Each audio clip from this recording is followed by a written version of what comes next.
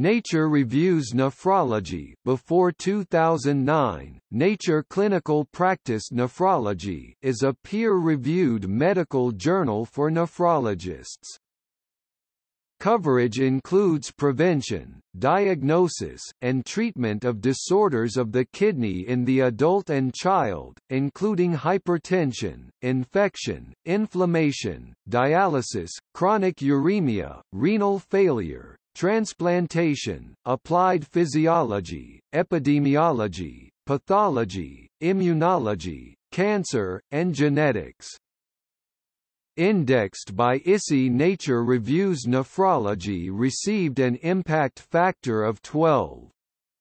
146 as reported in the 2016 Journal Citation Reports by Thomson Reuters.